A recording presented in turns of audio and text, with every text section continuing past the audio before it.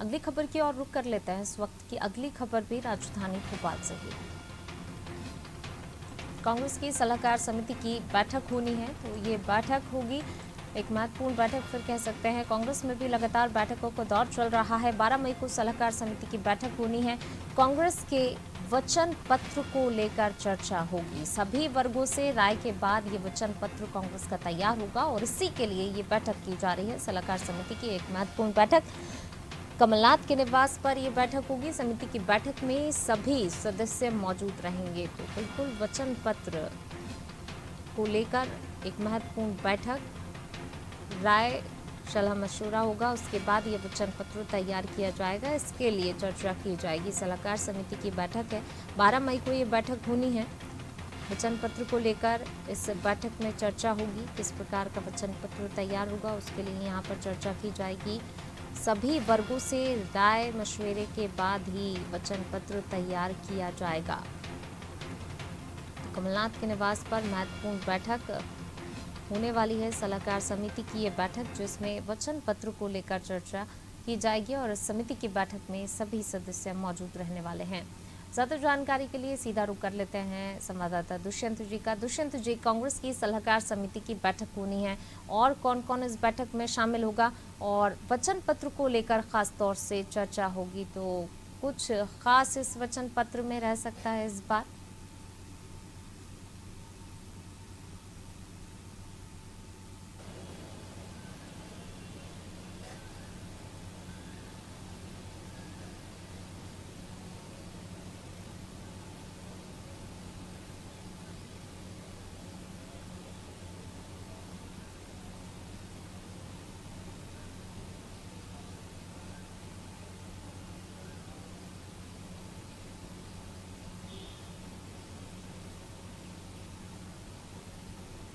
देखिए, लगभग बारह से पंद्रह सदस्य इस वचन पत्र समिति, सलाहकार समिति में बनाए गए हैं और इन सदस्यों की उपस्थिति यहाँ पर अनिवार्य की गई है। जब ये बैठक होगी तो कहीं ना कहीं तमाम सारे जो सदस्य हैं वो इस बैठक में मौजूद रहेंगे। जिस तरीके से अगर पूरे समिति के अध्यक्ष की बात की जाए तो पूर्व विधानसभा उपाध्यक्ष राजन सिंह को इस समिति का कांग्रेस ने अध्यक्ष बनाया है और उनकी अध्यक्षता में ये बैठक जब कमलनाथ के बंगले पर आयोजित होगी तो कहीं ना कहीं कमलनाथ तो शामिल होंगे ही। साथ ही साथ पूर्व नेता प्रतिपक्ष अजय सिंह और वर्तमान नेता प्रतिपक्ष डॉक्टर गोविंद सिंह के साथ साथ दिग्विजय सिंह सुरेश पचौरी और तमाम सारे अरुण यादव की बात करें या फिर हम कांतिलाल भूरिया की बात करें तो ये तमाम सारे लोग जो हैं इस बैठक में शामिल होंगे। और जिस तरीके से कांग्रेस को वचन पत्र में किन किन वचन को शामिल करना है कौन कौन से ऐसे बिंदु होंगे, इन तमाम सारे बिंदुओं पर इसमें चर्चा होगी।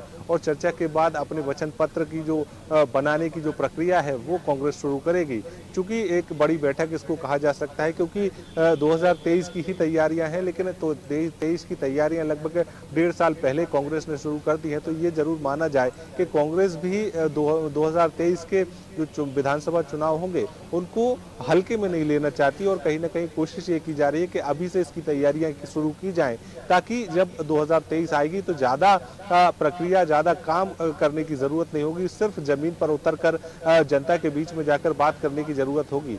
तो ऐसे में अब जो पूरी कागज़ी प्रक्रिया जो है वो कांग्रेस अभी से पूरी कर लेना चाहती है। वचन पत्र में कौन कौन से ऐसे बिंदु होंगे, कितने बिंदु होंगे और कौन कौन से जो पंद्रह महीने के कार्यकाल में बिंदु अधूरे रह गए थे, उन बिंदुओं को भी क्या इस वचन पत्र में शामिल किया जाए? तो ऐसी तमाम सारी चर्चाएँ इस बैठक में होंगी और तमाम सारे लोग जो हैं वो कहीं ना कहीं अपनी सहमति जताते हुए इन इन बिंदुओं पर चर्चा करेंगे। और अगर सहमति होती है तो इन बिंदुओं को वचन पत्र में शामिल करेगी कांग्रेस और अगर किसी बिंदु पर सहमति नहीं बनती है तो उसको अगली बैठक के लिए भी छोड़ दिया जा सकता है हो सकता है कि टेक्निकल पॉइंट्स जो हैं उन पर भी चर्चा की जाए और उसके बाद ही इस पर सहमति मिल सके।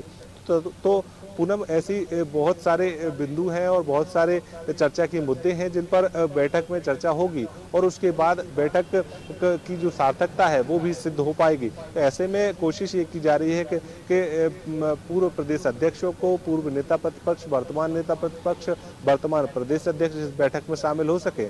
साथ ही साथ जो समिति बनाई गई है उस समिति के सदस्य भी इस बैठक में शामिल हों ताकि कहीं ना कहीं जो जो बिंदु जो पिछली बार छूट गए थे या ये कहें कि जो पिछले तीन साल में नए जो मुद्दे उभर कर सामने आए हैं उन मुद्दों को भी इसमें वचन पत्र में शामिल किया जा सके और कहीं न कहीं जनता को जनता के बीच में जाकर उनका हित और अनहित भी बताया जा सके। तो तमाम सारी बातें हैं इन तमाम सारी बातों को लेकर बैठक आयोजित की गई है। हालाँकि ये पहली बैठक है इसके बाद तमाम सारी बैठकें और भी आयोजित की जाएँगी क्योंकि सलाहकार समिति बनाने के बाद ये पहली बैठक आयोजित की गई है।